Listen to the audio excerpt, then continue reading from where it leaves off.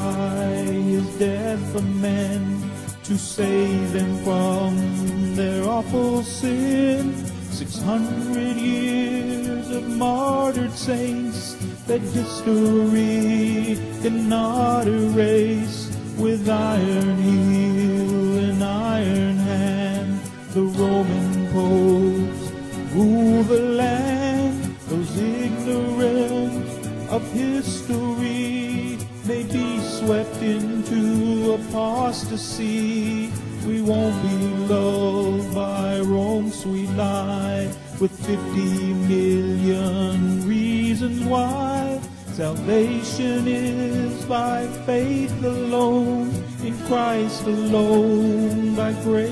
alone.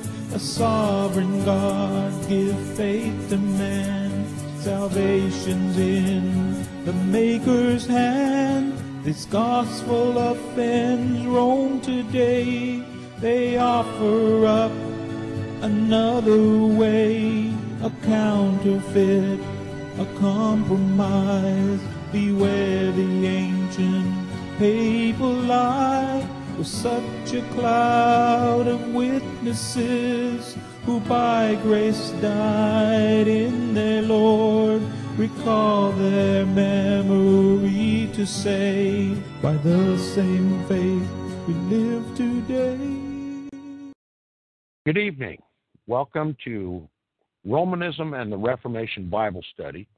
My name's Tom Friess, and I'll be your host for the next hour. We're reading the book Romanism and the Reformation by Henry Grattan Guinness. Last time we concluded at page 21, about halfway down the page. So if you find your, your own copy of this book or the, the online copy from which I am reading from archive.org, Romanism and the Reformation from uh, uh, University of Toronto. The pagination will be the same if you'd like to read along from that version. This is a two hour program. The first hour will be reading the text and commenting, and then after an hour of reading, then an hour of discussion from the listeners. And it's my pleasure to be here. We ask the Lord's blessing on the reading and understanding of this book. Romanism and the Reformation by Henry Grattan Guinness. May the Lord restore our Protestant knowledge. Now, last time, uh, pardoning my absence from last week over a an oversight of mine, but two weeks ago we concluded on page 21 of the book. And by a brief way of, of uh, refreshing our memories, since it has been two weeks and since we've already covered the first 21 pages of the book, what Henry Grattan Guinness doing is, is laying out the history of the papacy from its beginnings until this period of time when the papacy has literally grown from just a bishop among bishops to the bishop of all bishops, and then finally to King of Kings and Lord of Lords. And you might say to yourself, well, that's blasphemy. Indeed, it is. And the Bible prophesies that the papacy will be a blasphemer. And uh, we have seen the historical rise of the papacy from simply a bishop among bishops to bishop of all bishops, still subject to the emperor, the civil power of Europe, until he rises to become uh, superior to even the Roman emperor and all of the kings of the emperor, or all of the kings of Europe. I want to back up just as a matter of refreshing to page 19. He says this was a tremendous elevation, the first upward step on the ladder that led the bishops of Rome from the humble pastorate of a local church to the mightiest throne in Europe. But still, all that was claimed or granted was simply episcopacy. In other words, power within and over the church, though of a universal kind, he says. No thought of secular government existed at this period. In other words, no thought of sovereignty over secular governments. We're talking about a period where the papacy was just an ecclesiastical or a, a, an episcopacy within the church. Now, the matter, however, did not stop here. This supreme episcopal jurisdiction led to constant interferences of the Roman bishop in the affairs of the various nations of Christendom and to, to ever increasing pretensions to authority in matters secular as well as ecclesiastical until 500 years later in AD 1073. That's the year 1073. Pope Gregory VII, and I correctly say Antichrist Gregory VII, took a great stride in advance and established a theocracy on earth the world experienced for the first time a man who was head of the church and head of the state, a supreme pontiff. Every man, woman, and child on the planet, all the kings and all the people, were under the direct authority of Pope Gregory VII in 1073. A papal theocracy, King of kings and Lord of lords. He was the first who claimed, as the representative of deity, to be above all the kings in the world. This proud and self exalting man strove and strove successfully, not only to emancipate the spiritual power, that is, the power of the church, from all control by the state, not only to secure for it absolute independence, but further to subject the secular power of princes, that is, the kings of the earth, to the spiritual power of priests. Okay? You might know that the priest of priests is the Pope. Okay? And thus to establish at Rome in his own person and in the succession of the Roman pontiffs an absolute and supreme rule of the world. You comprehend this? That under this pontificate, uh, uh, uh, uh, Pope Gregory VII, the whole world was the Pope's jurisdiction. King of kings and Lord of lords. Now it says, nor did he propound this new and startling doctrine as a theory only. With daring audacity, he excommunicated the German Emperor Henry IV, and he released his subjects from allegiance to him and forbade them to obey him as sovereign. So, here, in exercise of his divine right as King of Kings, he excommunicates Henry VII and strips him of his kingly power and subjects his people to renounce allegiance to him. And he forbade the people to obey him. This had never been done in the world. And the, the, this Pope did it for the first time, proving his King of Kings status. He actually succeeded in exacting humiliating concessions from the emperor and yet he subsequently bestowed his kingdom on another. So even after Henry IV re- relented and regained the Pope's confidence, still the Pope replaced him and gave his kingdom to another.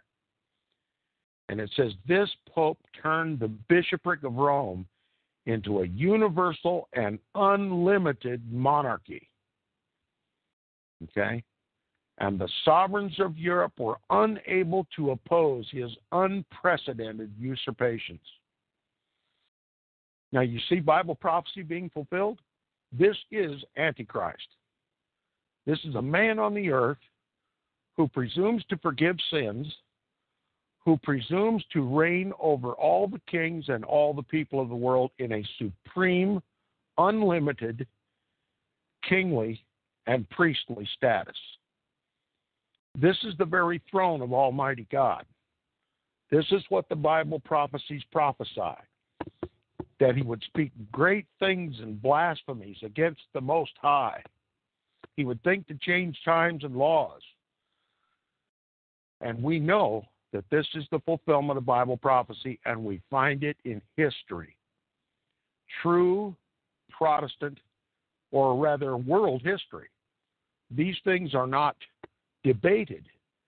These are a matter of record, uh, accepted by all all parties concerned.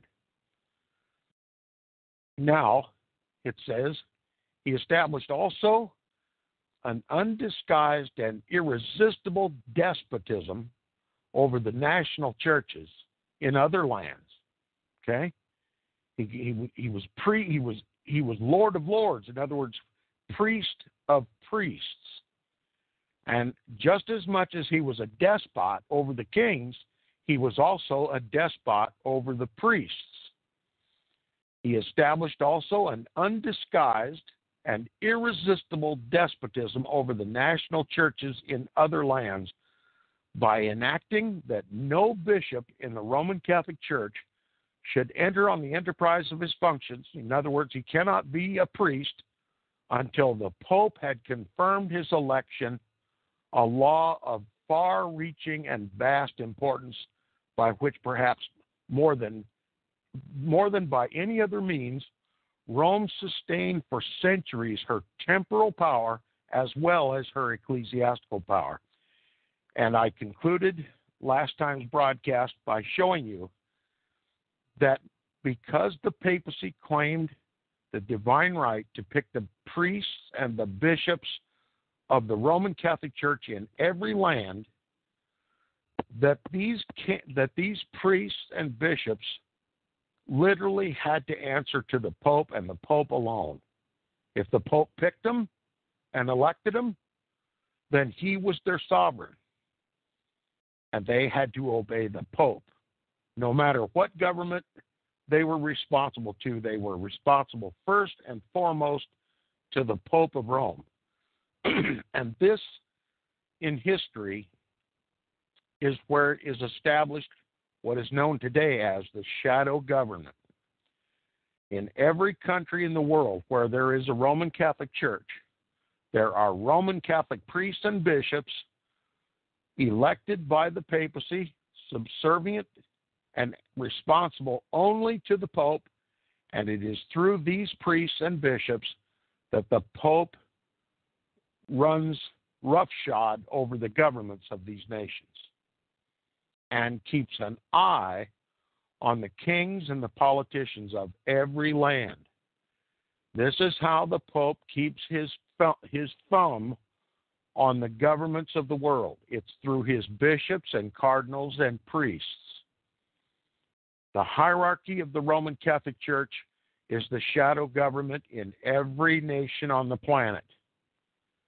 When a government passes laws that are contrary to Roman Catholic canon law, the priests and the bishops uh, and the cardinals of that nation go into warfare against that government, controlling the minds and the hearts of the Roman Catholics within every diocese, uh, in, in every jurisdiction in that land, and they overthrow the government. They change the laws. They go into active warfare to achieve whatever directives that they receive from the Pope. This is how governments are overturned. This is how regime takes place even today.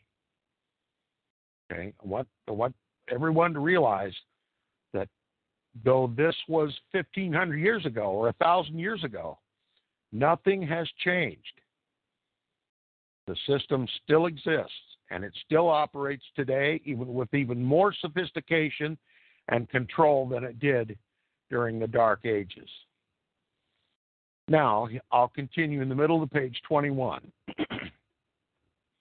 Many of the constant quarrels between our own English kings, remember Henry Grattan Guinness is giving this series of lectures in England. He's speaking to a live audience in England, an overflow audience, by the way, an audience that contains even the blue bloods of England all the way down to the street sweepers. The audience is is is filling the the uh, the house and even spilling out into the streets. People came from everywhere to listen to this man preach and teach.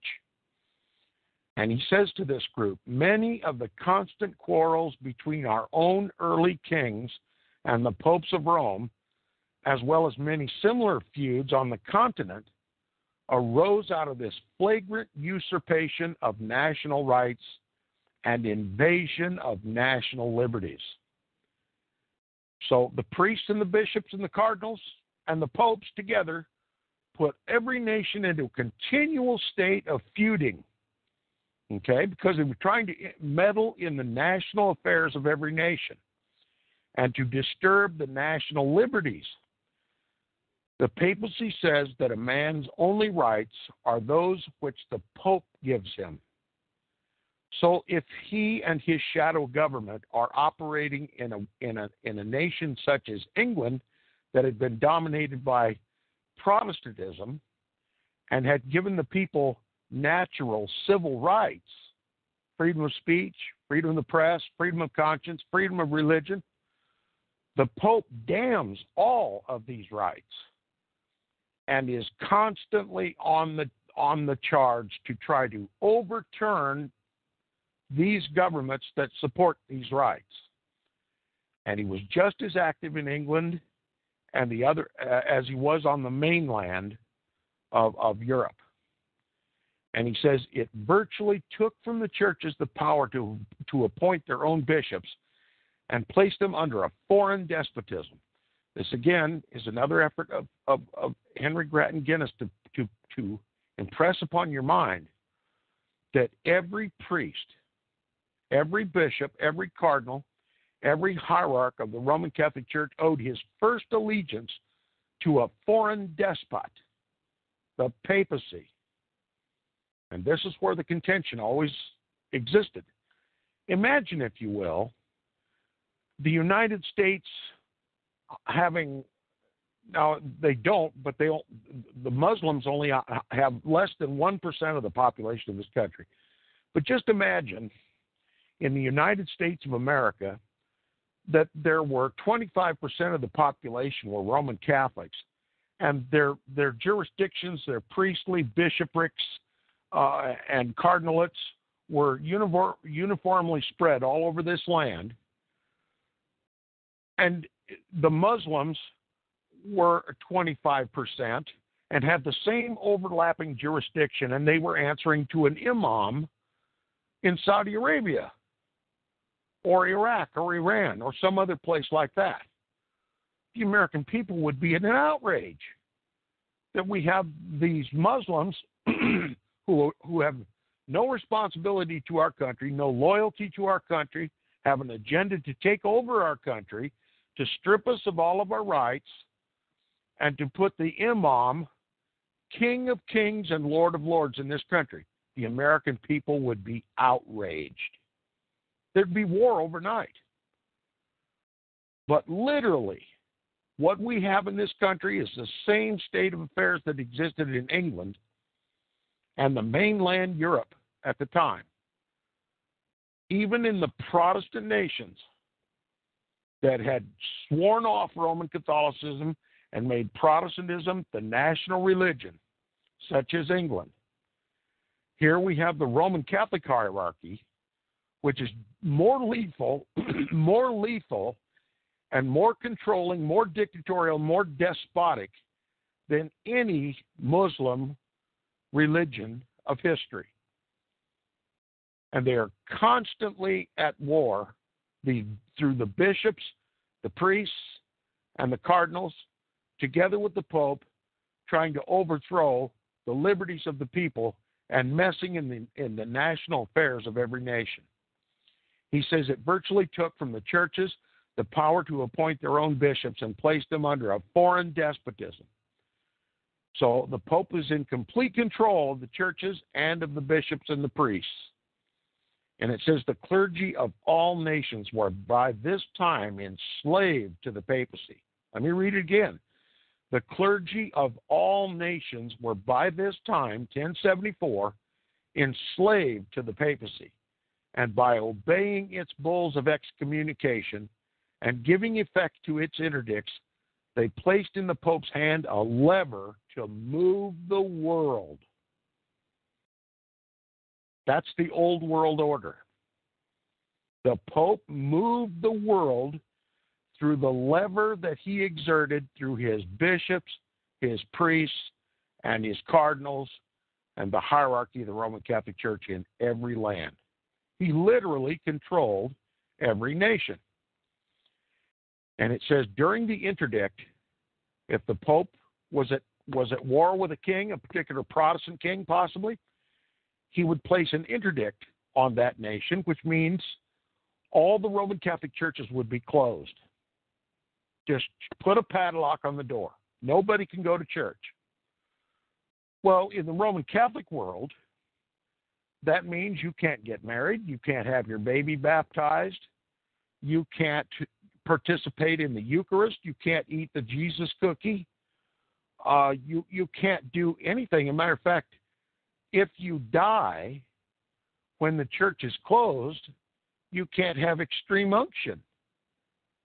You can't have your sins forgiven. You can't confess your sins to a priest because the ecclesiastical system has been closed. So, in the Roman Catholic world, if you die having unconfessed sins, you go to purgatory and you must have them burnt off, as it were. So, if the Pope closes the churches, the Roman Catholic churches in your kingdom, trust me, the Roman Catholics are going to do whatever they have to do to get that church open. And if it means overthrowing the government, waging a civil war against the government, or simply not obeying the king, that's is precisely what they do. And the history is just dripping with examples of this. This is the power wielded by the Pope to make him King of Kings and Lord of Lords. This is what is so idolatrous about the Roman Catholic Church. They don't worship Jesus Christ in the Roman Catholic Church, they worship the Pope. They do what he says. Even the kings of the earth did. And trust me, it's no different today than it was then. Now, the author says during the interdict, the churches in a country were all closed, bells silent, the dead unburied. In other words, you couldn't have a funeral. And Roman Catholics aren't ones to just go out and bury somebody. You have to be buried in a Catholic funeral. Okay? It says the dead unburied. No masses could be performed. No rites except those of baptism and extreme unction celebrated. So the Pope made an exception.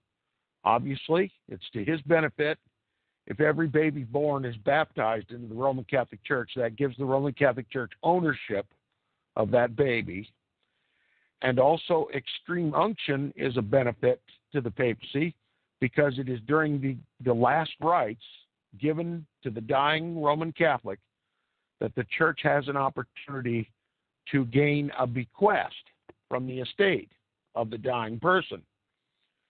So, in the beginning of life, baptism, the Roman Catholic Church gains, and at the end of life, near death, the Roman Catholic Church gains by extreme unction. Everything else, according to the ecclesiastical uh, laws of the church, are done away with during the interdict. Now, he says this state of things was so dreadful to a superstitious age that monarchs were obliged to yield lest their people should revolt. The result of every such interdict was an increase to the power of the papacy, and they soon brought all refractory rulers in Europe to terms. This was enough power for the papacy to gain every kind of control over every king of Europe. This is how he maintained his status as King of Kings and Lord of Lords through the interdict. Now, when the maxims of Gregory VII had been acted out for a century, and the power to trample on the necks of kings had come to be regarded by churchmen as an inherent and rather a divine right of the papacy, the proud spirit of papal aggression reached its climax. The period of climax may be dated from the pontificate of Pope Innocent III in AD 1198. The leading objects which the Roman pontiffs had steadily pursued for centuries seemed at last attained. Independent sovereignty, absolute supremacy over the Christian church, and full control over the princes of Europe.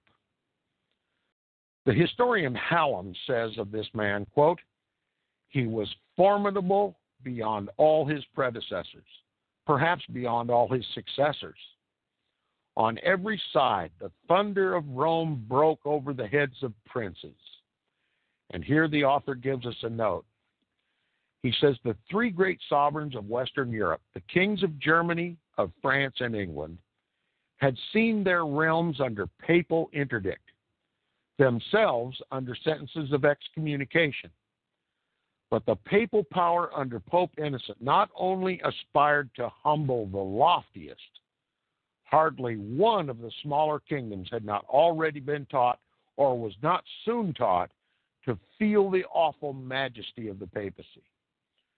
From the northern ocean to Hungary, from Hungary to the Spanish shore of the Atlantic, Pope Innocent III is exciting uh, is exercising that what takes the language of protective or parental authority, but which in most cases is asserted by the terrible interdict. Unquote.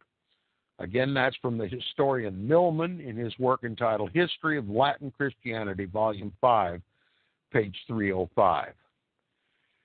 Now, this Pope excommunicated Swino, the king of Norway, threatened the king of Hungary to alter the succession. In other words, uh, the king of the, the king of Hungary was not going to be able to pass down his crown to his chosen successor. The Pope was going to see to it that whoever he wanted to rule Hungary was going to get to rule. He put down the kingdom of Castile under interdict and when Philip Augustus of France refused at his bidding to take back his repudiated wife, Innocent did not hesitate to punish the whole nation by putting France also under the same de- uh, dreaded penalty until her king humbly submitted to the Pope's behest. He ruled over the kings of the earth, even meddled in their own in their marital affairs. Remember, marriage is a sacrament in the Roman Catholic Church. According to Roman Catholic canon law, no one is lawfully wed unless he is married by a Roman Catholic priest. And these kings who were under the papal authority could not dis- dispose of their wives without the king's permission or without the pope's permission. Now, this was the case even in England under King Henry VIII. But we're going to talk about King John now, King John of England and Philip II of Aragon were both constrained to resign their kingdoms, in other words, hand their crowns to the Pope, and then receive them back from the Pope as spiritual fiefs of the Roman pontiff, who claimed also the right to decide the election of the emperors of Germany by this confirmation or veto. So, if you were in dispute with the papacy, as king as was King John, where where by what authority did he wear his crown? The Pope worked it against King John so that to to to to not suffer an interdict in England and not succumb the same way as all the other kings of Europe did, King John just simply removed his crown and handed it to the Pope. And then the Pope handed it right back to him and stuck it on his head. And that by that means, Pope John submitted to the Pope, or King John submitted to the Pope as a literal fief, a fiefdom. He made England a fiefdom of the papacy. And that's still observed by Roman Catholic canon law today. That England, no matter if it's kings and queens, take a Protestant oath, in the papacy's mind, England is, was, and always will be a fiefdom of the Roman, the Roman pontiff.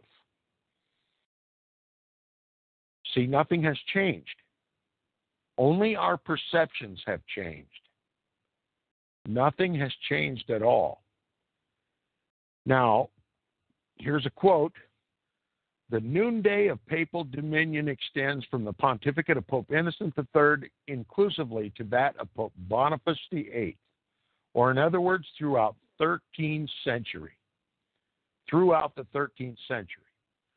Rome inspired during this age all the terror of her ancient name. She was once more the mistress of the world, and kings were her vassals. In other words, papal Rome, or the, the Holy Roman Empire, had already gained all the power and authority and might that the old pagan Roman Empire had. The only difference between the two is the name. The old Roman Empire and the new Roman Empire. Now, here the author gives us uh, another reference that if you care to look this up for yourself, this comes from Hallam's History of the Middle Ages, page 368 in the fourth edition. Now he continues at the top of page 24.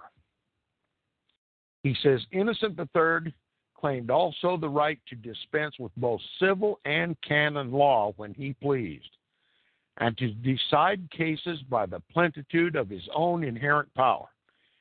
I want to make sure you understand this. Pope Innocent III, claiming to be the replacement of the Son of God on earth and having all the power and jurisdiction of Christ on earth, arrogated to himself not only King of Kings status and Lord of Lords status, but that he was a supreme authority over every law, both the human and divine, and that he could he could dispense with any law that he choose that he chose, whether it was man's law or whether it was God's law. The ultimate blasphemy committed by Pope Innocent III he dispenses also, says Henry Grattan Guinness, with the obligation of promises made on oaths, undermining thus the force of contracts and treaties.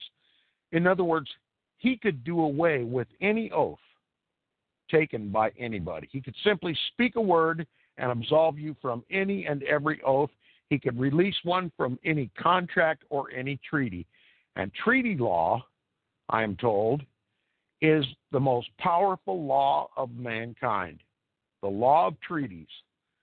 And the Pope arrogated to himself the power to even dispense with treaties, national and international law. Think of the ramifications that the papacy has today to dispense with canon law, his own law, to dispense with the laws of heaven the Ten Commandments, and also national and international treaty law and contracts. That's the power that is wielded by the papacy today, just as much as it was then.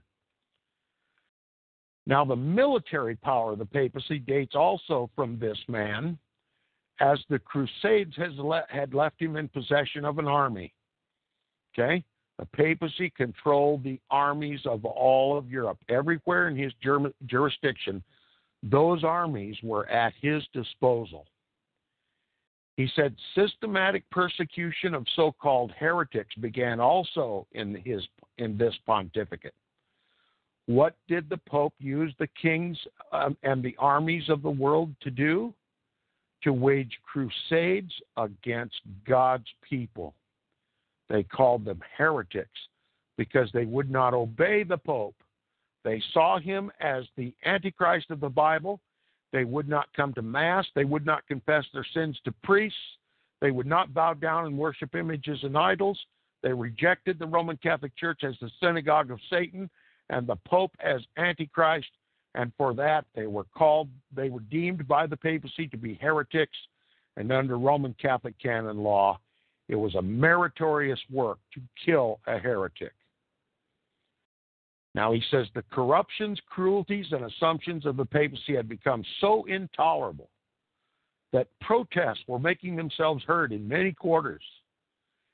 It was felt these must be silenced at any cost, and a wholesale slaughter of heretics was commenced with a view of their extermination. The Inquisition was founded. The Albigensians and the Waldensians were murderously persecuted, and superstition and tyranny were at their height. Look what the papacy does when he gains to himself all the powers of heaven and earth unto himself. What does he do? Begins to kill God's people, just like the Bible says. He is drunk with the blood of the saints and the blood of the martyrs of Jesus. Prophecy being fulfilled in history. Now he says, from this century, papal persecution of the witnesses for the truth never ceased until the final establishment of Protestantism at the end of the 17th century. In AD 1294, Pope Boniface VIII became Pope, and by his superior audacity, he threw into the shade even Pope Innocent III. He, des- he deserves to be designated the most usurping of mankind as witness his celebrated bull entitled Unum Sanctum. In this document, the full claims of the papacy come out. We've noted several ever increasing stages of papal assumption already, but now we reach the climax. The claim, which, if it were a true one, would abundantly justify all the rest we reach the towering pinnacle of the topmost peak of human exaltation. What was the claim of Pope Boniface VIII? It was that, quote, the Pope represents God upon earth, unquote. As this claim is the most extraordinary and audacious ever made by mortal man, I will state it not in my own words, but in the words of the highest papal authority.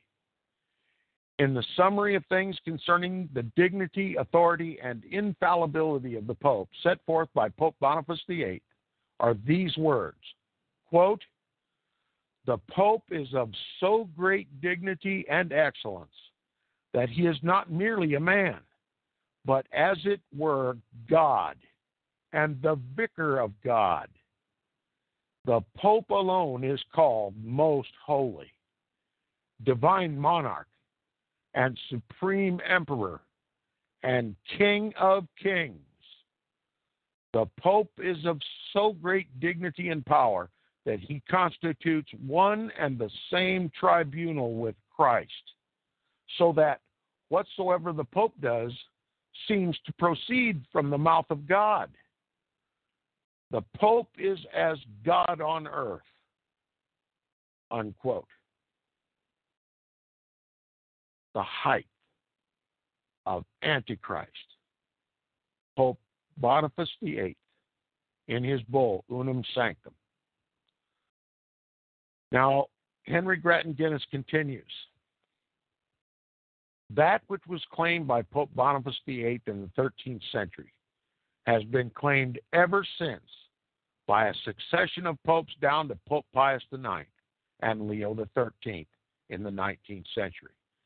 These were the popes that were reigning at the time of the writing of this book in the late 1800s. Pope Pius IX had just been succeeded by Pope Leo XIII. He continues, he says, The Pope speaks today as the vicar of Christ, as God's vicegerent, the Great Ecumenical Council of 1870 proclaimed him such and declared him to be infallible. a professor of history in the Roman University, writing on the Council of 1870, uses the following language, which strikingly expresses the papal ideal. Quote, the Pope is not a power among men to be venerated like another, but he is a power altogether divine. He is the propounder and teacher of the law of the Lord in the whole universe.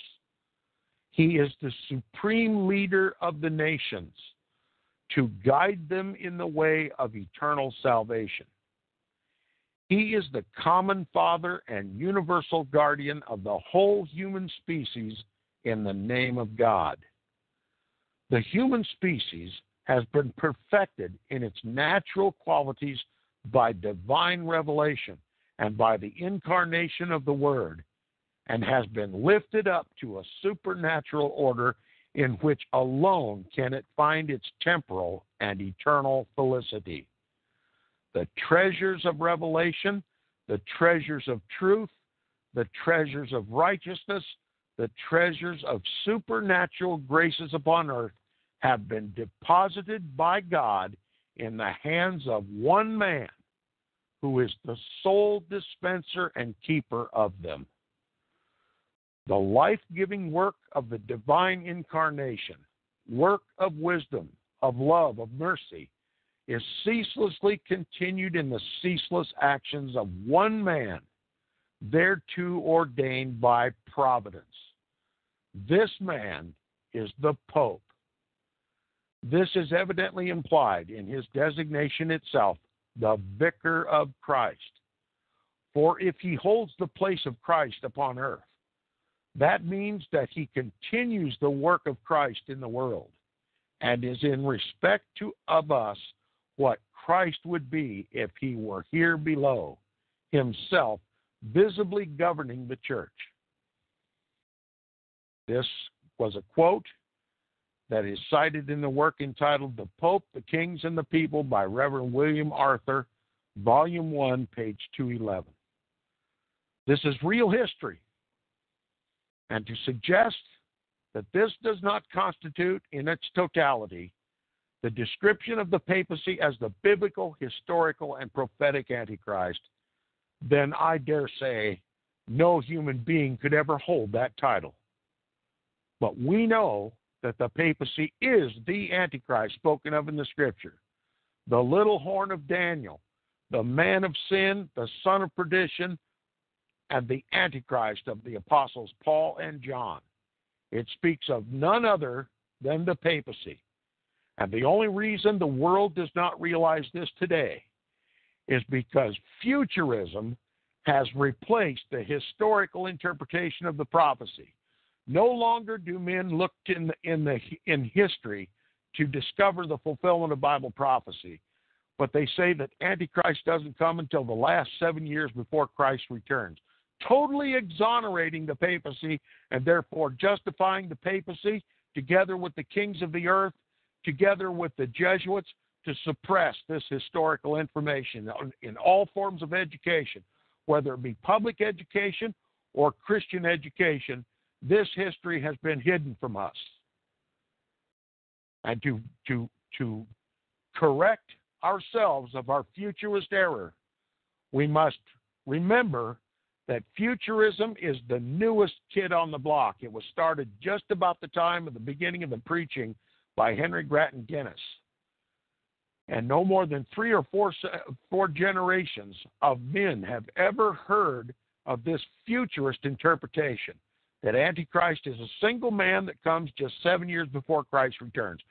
Every Christian before our generations, the last three or four generations, have believed and taught.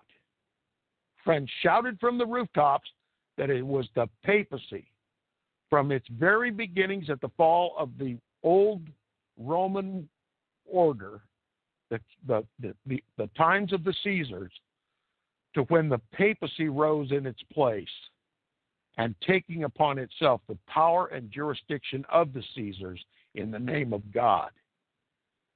We need to return to historicism before it's too late. One more word before I continue with the text. and this you must comprehend after reading all that we've just read, that the New World Order is simply the reestablishment of the old world order. The Pope has regained his power in the world as King of Kings and Lord of Lords. And this global government, this global religion, the global economic system, the global social structure is going to be a, a papal theocracy. The papacy will be at the head of all of it. And now you must begin to ask yourselves why have we been led down this ecumenical road to reunite with the Roman Catholic Church by our pastors? It can only be that the Roman Catholic Church, through her Jesuits, have gotten control of the Protestant seminaries, have removed Protestant history from the shelves, and have been preaching futurism ever since. If historicism was restored, futurism would destroy upon its own foundations, and the very foundations of the New World Order would crumble. So the success or failure of the New World Order can be said to be in whether or not God's people return to a historical understanding of the prophecies. If they do, Rome will crumble under her own weight. The New World Order will crumble under its own weight. If, the, if God's people, the very elect of God, continue to believe in futurism, then the papacy is free to continue to deceive the whole world. As goes God's people, so goes the nation, and so goes the world. Continuing futurism then you will be ruled by the Antichrist of the Bible.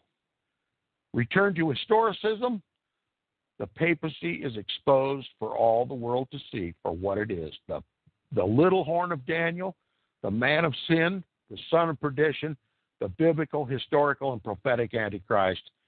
And then the kingdom of Christ will be here on earth. Now, continue with the text. Do you hear these words? Do you take them in? Do you grasp the thought which they express? Do you perceive the main idea and central principle of the papacy? The Pope is not simply man, but is as if God and the vicar of God as God on earth. No wonder the sentence is addressed to every pope on his coronation. Quote, now thou art the father of princes and kings and the governor of the world. Unquote. Did you know that that's what every pope is is is heralded when he becomes pope? This is what they say at his coronation ceremony. Quote, Know thou art the, the father of princes and kings and the governor of the world. You are the father of princes and kings and the governor of the world. That's what they say of the Pope when he's crowned and coronated at the Vatican. He says, No wonder that he is worshiped by cardinals and archbishops and bishops, by priests and monks and nuns innumerable, by all the millions of Roman Catholics throughout the world. No wonder that he has dethroned monarchs and given away kingdoms dispensed pardons and bestowed indulgences, canonized saints, remitted purgatorial pains, promulgated dogmas, and issued bulls and laws and extravagants, led em- laid empires under interdicts, bestowed benedictions, and uttered anathemas. Who is like unto him in all the earth? What are great men philosophers, statesmen, conquerors, princes, kings, and even emperors of the earth compared to the Pope. Their glory is of the earth, earthy. His is from above, it is divine. He is the representative of Christ, the creator and redeemer, the Lord of all. He is as Christ. He takes the place of Christ He is as God, as God on earth. This blasphemous notion is the keystone of the entire papal arch. It is the stupendous axis on which the whole papal world has rotated for ages and is rotating at this hour. And remember, the hour that we are speaking is about, uh, approximately 1874 AD when this book was written. And it's no different today. But to complete this very brief sketch of the history of Romanism, I may just remind you that long and checkered decline of papal dominion may be dated from the pontificate of Boniface VIII from the end of the 13th century. Early in the next century, Pope Clement V took the strange and fatal step of removing the seat of, the seat of papal government from Rome to Avignon, France, where it remained for 70 years, greatly to the detriment of its authority and power. There it was to some extent dependent on the court of France, and it also lost the affections of Italy and the prestige of Rome. Then came the Great Schism, which seriously weakened the dis- and discredited the papacy. We're talking about the separation of the Eastern churches that were centered in Constantinople and, and, extended all over the Baltic states. They got into a fight with the papacy. They would not accept the papacy as the head of their church. They wanted their own patriarch. There were some more feuds over dating uh, uh, when the Easter should be celebrated, another paganized Christian holiday, and also a dispute over image worship. And the Eastern Church broke away from the Western Church. They call it the Great Schism. It took place in 1054 AD, and it helped to discredit the papacy. What this author is describing for us in history is God's hand at work. During the time when the papacy had exalted itself to be God of all gods, King of all kings, God began to make a mockery of the papacy, insofar as it even had to move its throne from Rome to Avignon, France, and to some degree even had to be had to come under the jurisdiction of, of the French government. And then the church split in half the east and western sects of the Roman Catholic Church. The papacy's power was divided, even in his own church. This is the hand of providence. This is God making a mockery of this great blasphemer of Scripture. Now he says rival popes ruled at Rome and Avignon. The papacy got into a feud. The the the the, the, the, there became two popes, if you can imagine this. And even at one time, there were three popes in the Roman Catholic Church, all hurling anathemas at one another, all claiming that, that the other was the Antichrist. And I always laugh and say they were all absolutely correct. God is literally making a mockery of the papacy.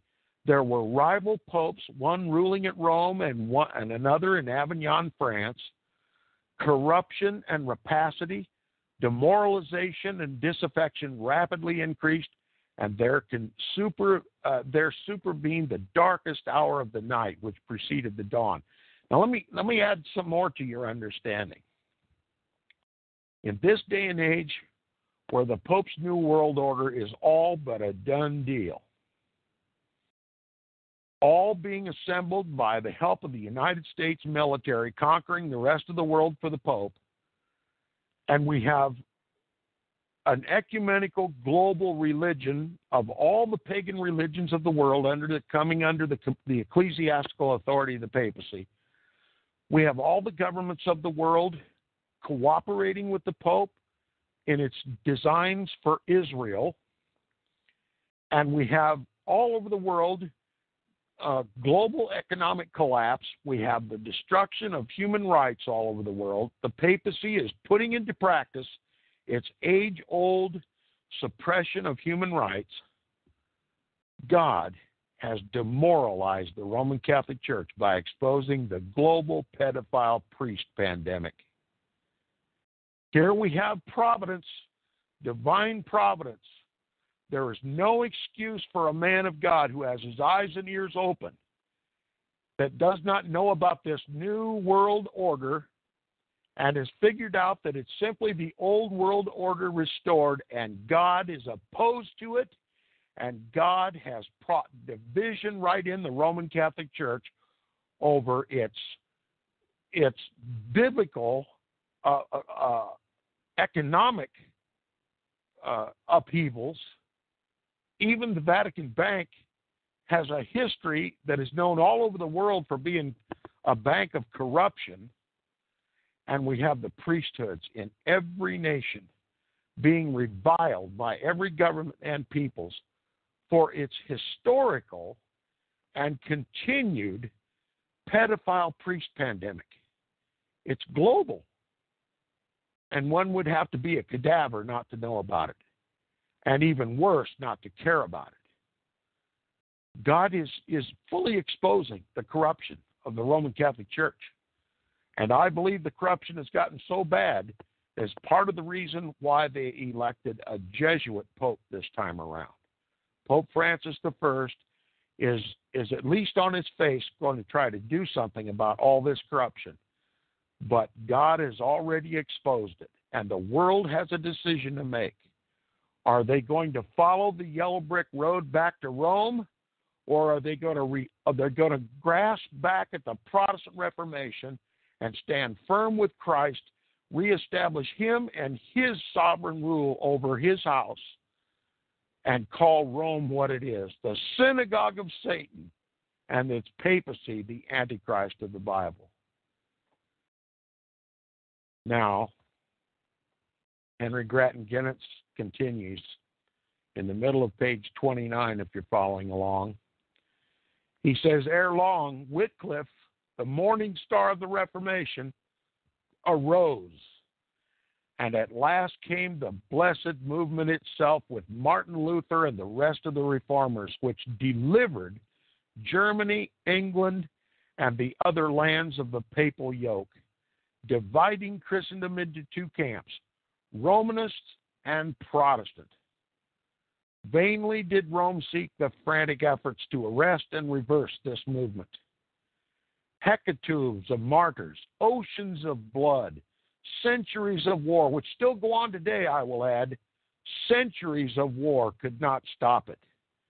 At the beginning of the 16th century, Rome boasted that not a single heretic, not a single Protestant could be found.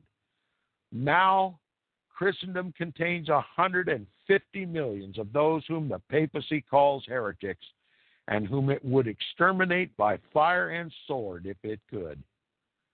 It did succeed in crushing out the Reformation movement in France, Spain, and Italy by awful Inquisition tortures, by bloody massacres, by cruel wars, by the revocation of the Edict of Nantes, by the deeds of such men as Philip of Spain and his Armada, and the Duke of Alva and his cruelties in the Netherlands. Rome recovered some of the ground she lost in the Protestant Reformation, and she still exercises spiritual power over 180 millions of mankind. Though her temporal power has overthrown for a time the French Revolution, uh, uh, uh, for a time in the French Revolution, and the joy of Italy brought it to an end in 1870, her claim to it is in no wise abated, nor her pretension that she has a right, a divine right, to rule the world. The religion of Rome has so disgusted the continental nations that, knowing nothing better, they have drifted into practical infidelity. And with one consent, they have, to a large extent, despoiled the church of her revenues, secularized her property and her religious houses, and repudiated her interference in their respective governments. So we have two adversaries of the Antichrist and the synagogue of Satan. Number one was the Protestant Reformation, defeated error with truth. And then we have the French Revolution that it had wanted nothing more whatsoever to do with religion, and it was the it was a most lethal error, uh, a most lethal attack against the papacy, because in France, these revolutionists confiscated all the Roman Catholic properties. And they, they stole from the papacy all of her churches, all of her monasteries, all of her lands and they repatriated it back to the nations. So, immediately after the height, the pinnacle of papal authority in the world, the King of Kings and Lord of Lords, God began to destroy her, and God did a very good job.